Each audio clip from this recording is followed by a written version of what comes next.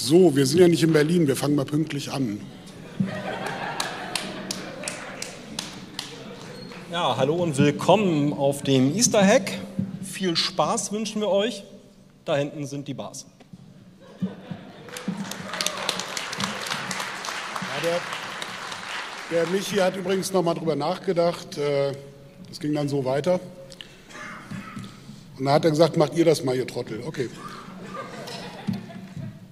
20 Jahre Easter Hack. Ähm, ich glaube, hier sind ein paar Leute im Raum, die so ziemlich alle gesehen haben.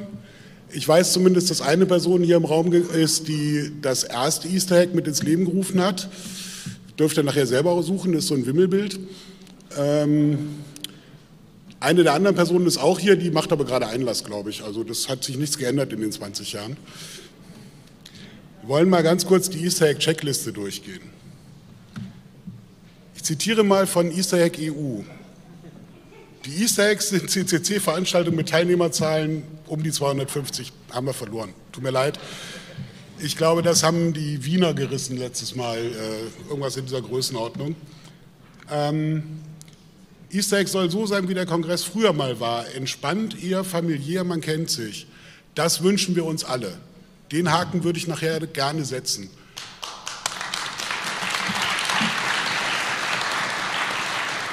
Und mein Appell an Migri wäre, daraus auf der Webseite zwei Punkte zu machen, weil in das Eidelstädter Bürgerhaus können wir echt nicht wieder zurück. Das wird. Ah, ist ein bisschen eng, ja. Und es wird auch gerade schon wieder umgebaut. Ja, die Betonung liegt auf Workshops, nicht auf Vorträgen. Wir haben genau diesen einen Vortragssaal. Wir haben versucht, drei verschiedene Workshop-Bereiche zu machen, plus die Löt-Area. Geht zu Workshops, habt Spaß wie früher. Ähm, es gibt ein Frühstücksbuffet hier vorne, äh, ist im Eintrittspreis enthalten und beginnt früh wie Frühstück und ist bis hinten drin sehr großzügig ausgelegt. Das heißt, es wird lange Frühstück geben. Ja, und es gibt natürlich auch wieder Tassen. Solltet ihr hoffentlich alle erhalten haben, sonst habt ihr Gästetickets und kriegt keine Tassen. Die könnt ihr aber für 15 Euro am Merchstand kaufen. Was? Bist, bist du im Sales, oder? Ja. Das ist ein bisschen geil. Ich habe mal versucht, ein bisschen rumzurechnen. 20 Jahre Easter Egg, das war einfach 20 Tassen. Es gibt einen tollen Talk von Pylon dazu über die Tassen heute Nacht, glaube ich, STB, ich gucke dich an. Heute Abend Pylon hier, kann ich nur empfehlen. Es haben zwölf Erfas äh, äh, ein Easter Egg ausgerichtet bisher. Früher war ja der Rhythmus Hamburg in den ungeraden Jahren, dann ist ein Wanderpokal weitergegangen. Das haben wir dann mal pausiert, während der Kongress hier war. Mal gucken, wie das weitergeht. Ähm, wir haben unendlich viel Lötzinn verbraten auf der ganzen Reise. Äh, es wurde viel gefunkt. Wir haben am Eidelstädter Bürgerhaus Antennen auf die merkwürdigste Weise aufs Dach gebracht. Äh, ich glaube, Elch ist auch mehrfach beinahe runtergefallen. Äh, das, aber da ist es alles. Wir haben viel feinen Fug gemacht und ich wollte eigentlich auflisten, wie viele Workshops und Talks es in den 20 Jahren gab. Ich habe sie aber nicht zusammengezählt gekriegt. Es ist äh, viel auch in der Diffusion der Geschichte verschwommen. Und aber das Besondere, es gab einen Martetaler. Wer mehr über den Martetaler wissen möchte, sollte sich jemanden suchen, der auf dem Basler Easter Egg war. Da gibt es eine Geschichte dazu. Ähm, wir sind jetzt hier auf Kampnagel, der alten Maschinenfabrik, äh, wo viel Hamburger Geschichte gebaut, geschweißt wurde, Maschinen, Motoren, äh, Kräne. Der STB ist ein sehr guter Ansprechpartner dafür, der kennt sich da blendend aus. Und das Ganze ist jetzt zu, nach einer Besetzung in den 70ern mittlerweile zu einer wunderbaren Kultureinrichtung geworden, wo viele tolle Leute arbeiten, die wir auch zum Teil mittlerweile Gott sei Dank unsere Freunde nennen können und hinterher hoffentlich noch mehr wenn Sie uns noch mögen. Das ist der Plan, den haben wir auch an ein paar Ecken aufgehängt. Das ist eigentlich alles relativ leicht zu finden. Ich weiß nicht, gibt es zu dem Plan Fragen? Gut. Das Kino ist das Alabama, das ist auf diesem Plan nicht drauf. Das grenzt aber im Westen an, also wenn du quasi im Hack Center durch die Wand diffundieren würdest, in der K4, wärst du schon fast im Alabama, aber ich würde außen rumgehen, das ist einfach schöner. Das, das heißt, außen Vorplatz, linke Seite am, äh, am Pisambul vorbei, kommt gleich das Kino. Ups, eine Folie zu weit. Pistambul ist ein gutes Stichwort. Wir haben hier Frühstück. Das Pistambul hat tolles Essen, vegan, vegetarisch, äh, auch mit Fleisch. Nette, tolle Leute, gute Preise jederzeit, die freuen sich. Ansonsten gibt es in der Umgebung auch noch alles mögliche andere zu essen. Äh, chinesisches Essen die Straße runter, echt lecker. Ansonsten trinken gerne nur bei uns, ja, weil das finanziert das Easter Hack. Ja, äh, noch mehr Facts. Ja, äh, Frühstück. Ja, schon wieder Frühstück. Tassen gibt es auch, haben wir auch schon gesagt. Weil deine Verkaufsfolie jetzt erst kommt. Meine Verkaufsfolie, ja, okay. Ja, äh, Merch wird jetzt schon ausgegeben, habe ich gesehen. Nicht erst heute Abend und morgen, also geht zum Merch. Äh, wir werden noch einmal Merch für alle die Leute machen, die äh, bisher verplant keine Lust hatten, sich was zu kaufen. Das heißt, wir werden noch mal eine Runde starten, wahrscheinlich nach dem Easter Hack. Nach dem Easter Hack, habe ich gehört. Ähm, Vorträge gibt es hier. Du hast echt meine Folie jetzt erst. Es tut mir leid. Ja, okay. Äh, Workshops in der K1, da hinten, auch die Löt-Area und dort hinten in der P1. Und äh, dann gibt es hier so eine Party in der KMH, habe ich gehört. Ja, also heute ist ja auch äh, Karfreitag, das heißt, heute wird es sehr Heute ist keine zugehen. Party, ne? Also heute wird christliche Musik gespielt. Ja, bitte aufpassen. Nicht wippen mit den Füßen, sondern nur dastehen, maximal etwas nicken. Ja, mehr nicht. Ja? Genau, nochmal für alle, die noch nicht so regelmäßig auf den Events waren und sind, die wichtigsten Telefonnummern im Deck, wenn das denn gleich up and running ist, was es hoffentlich gleich ist, äh, zum Abfotografieren oder sich merken. Im Zweifel, wenn man nicht mehr weiter weiß, die 110 oder die 1000 anrufen, irgendjemand findet da was. Auch hier trinkt mehr Chunk, Party und Getränke. Und Wasser. Ja, Wasser, ein bisschen Wasser. Genau, das ernste Thema. Ich? Bin für ernst? Okay. Ähm, ja, testet euch regelmäßig morgens bitte, bevor ihr herkommt. Ähm, wir haben vorne beim Himmel auch eine Menge an äh, Corona-Tests und Masken liegen. Nutzt Masken, wenn ihr euch unwohl fühlt oder wenn ihr vor allem in irgendwelchen Bereichen sind, so, wo sehr, sehr viele Leute quasi auf einen Ort kommen. Äh, ja, äh, Hände waschen, ja, Hände waschen, Hände waschen, Hände waschen nach dem Toiletten gehen, Hände waschen generell. Überall sind Desinfektionsspender auch noch angebracht. Ja, hier lustigen Spruch, Toilettengänge, ja. Hände waschen.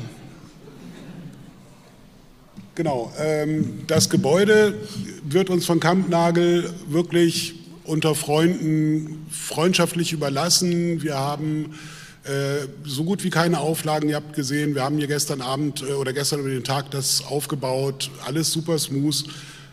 Das Übliche, was immer auf unseren Veranstaltungen gilt, hinterlasst das Gebäude besser, als es war.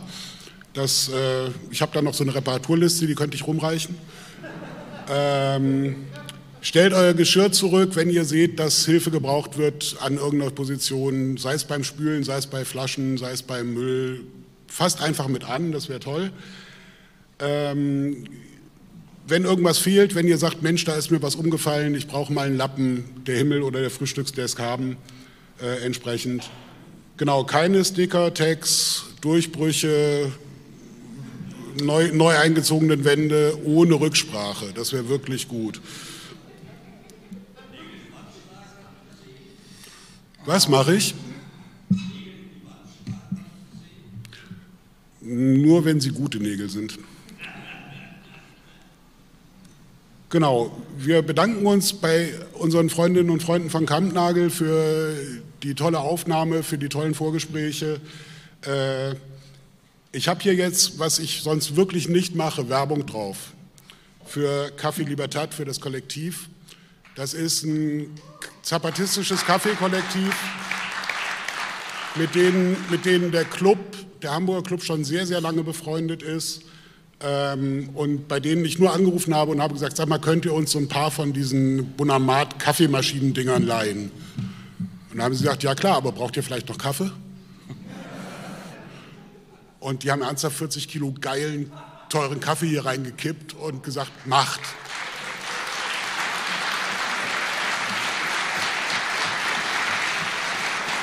So. Und, ne, bitte, bitte. Jetzt. Knapp 16 Minuten sind vorbei. Äh, 14 haben wir noch. Ja. Das schaffen wir. Ja, 30 Minuten kriegen wir voll. Euch mache ich fertig. ja, äh, jetzt hier eine kleine Slideshow vom Easter Hack. Äh, von den verletzten, vergessenen. Ja, wir haben mal, wir haben mal die, die Screenshots der Seiten gesichert und ähm, versuchen auch die Seiten zu rekonstruieren. Meine Bitte, wenn ihr eine Veranstaltung macht und beschließt, den Webserver mit der Veranstaltungswebseite abzuschalten, macht eine verdammte Kopie. Oder schiebt sie ins Archive.org oder schiebt sie ins Hackerarchiv. Dazu gibt es morgen eine äh, Session. Äh, es ist wahnsinnig schwer, die Forensik in diesen 40 Jahren Club gerade zu betreiben, weil so viele Infos schon aus dem Netz verschwunden sind. Ähm, Migri versucht auf der, eher, äh, auf der Easter Egg EU auf alle Sachen zu verlinken, der gräbt nur noch durch Archive.org. Also es wäre toll, wenn ihr irgendwas macht und ihr wollt die Server löschen, sagt uns Bescheid, wir archivieren den Shit. Das wäre wirklich prima. Genau, und damit sind wir eigentlich, ihr könnt noch ein bisschen Slideshow Genau, gucken. also Slideshow läuft noch 13 Minuten. Äh viel Spaß oder Fragen? Gut, dann viel Spaß.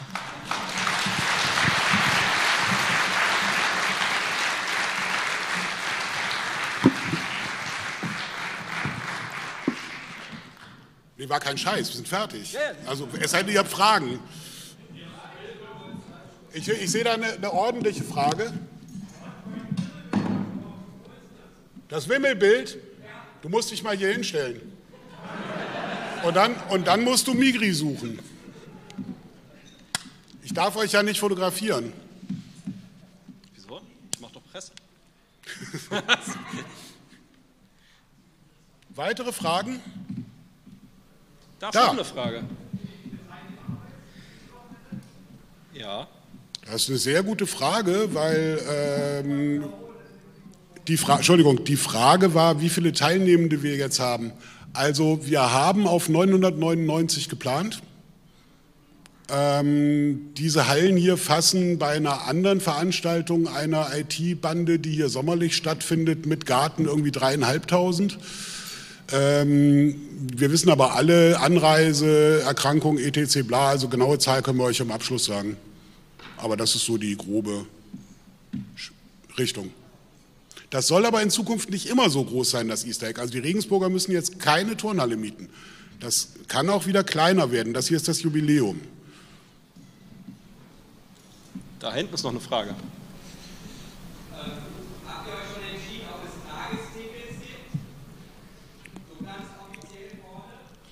Mal so sagen, wir haben dafür keine Bändchen produziert, aber es gibt da eine Lösung.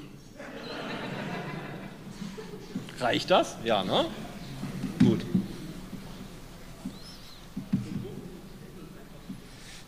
Ja, ich kann auch die Titulärmaschine holen, das geht. Das ist kein Problem. Weitere Fragen? Wir sind bei Slide 24 von 33.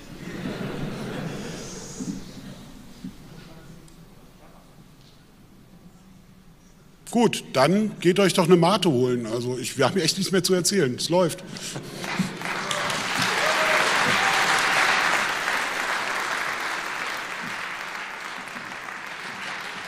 Wer, wer, sich für die Slideshow interessiert, die läuft auch im Hauptfoyer auf so einem kleinen Fernseher in der Ecke mit. Also der könnte auch